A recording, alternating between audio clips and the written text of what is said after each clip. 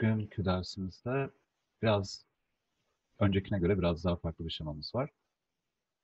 Burada benim elimde şu anda yine container ve container'ın içinde 17 tane kutu var. 17'yi özel olarak seçmedim. Şimdi biraz gridimizi tanıyalım. Burada 6 tane sütun, 100'er piksel belirlemişim. Satır olarak da 3 satır, yine 100'er piksel. Ama şu an baktığımızda bu kutular responsive değil. Hepsinin genişliği hep 100 piksel. Hem genişliği hem de satır yüksekliği. Peki bunu ben responsive yapmak istesem nasıl yapardım? Mesela piksel yerine fraction kullansaydık şu anda 6 tane sütun ve her biri bir fraction olsun dediğimizde kutularımız birden responsive oldu. Şimdi onlar da genişleyip büzüşebiliyorlar. Ama böyle küçülttüğümüzde mesela mesela mobil kullanıcılarda burada hala 6 tane kutu olunca biraz çirkin gözüküyor açıkçası. Belki mesela pencereyi küçülttüğümüzde 6 kutu yerine 2 kutu gözükse daha iyi olur. Daha rahat bir görünüm sağlar. Peki bunu nasıl yapabiliriz? Mesela burada 6 yerine auto fit dersek ve bunu da 100 piksel yaparsak Şimdi burada değişen ne? Dedik ki auto fit.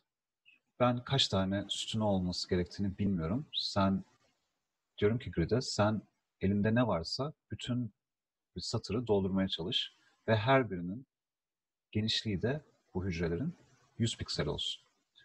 Böyle olunca elimde ona 17 tane kutu olduğu için ilk satırı doldurdu ve 17.yi ikinci satıra koyduk. Şimdi mesela kutuyu ekranı biraz küçülttüğümde hemen 17 aşağıya geldi. Ekranı biraz daha küçülttüm. 15 geldi. Bu da güzel fakat burada da eksik olan şöyle bir şey var. Mesela sol tarafa bakarsanız sol tarafta hiç boşluk yok. Ama burada biraz boşluk kalıyor. Bunun sebebi de biz genişliği 100 piksel olarak söyledik. Şimdi ben şu anda burada 100 piksel kadar bu kutuyu sığdıracak kadar yani değer yok.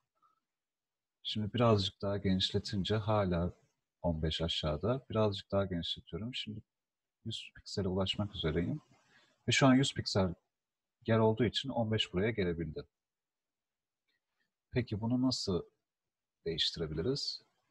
Bunu o zaman biz yine sabit bir birimden fraction'a çevirsek ne olur? Hmm. Bu sefer de yine AutoFit bütün satırı doldurmaya çalıştı ve satırımızın genişliği bir fraction olsun demiştik. Bu yüzden bütün bu bir element bütün satırı kaplamış oluyor. Çünkü bir fraction hem sütunun genişliği hem de elementin genişliği. İkisi de aynı olunca hepsini doldurmuş oldu. O zaman bu durumda min-max diye bir şey var. Min-max'i kullanalım. Diyelim ki minimum 100 piksel olsun. Maksimumsa min-max tamam. En küçüğü 100 piksel.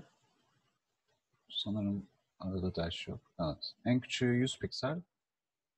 En büyük zamanda bir fraction olsun. Yani bu ne demek? Ben şimdi şu an küçültüyorum. Şimdi şu anda 100 piksel kadar bir şey genişliği şu anda bir kutunun. 100 pikselden birazcık daha yüksek. Ve ben bunu şöyle şu anda 100 piksele çok yakın. Bakalım. Heh. Şu anda kutular 100 piksel. Birazcık daha genişletince şu anda şimdi artık genişlik birimi fraction'a dönüyor. O yüzden bu kutular biraz daha genişleyebiliyor. Genişleyebiliyor.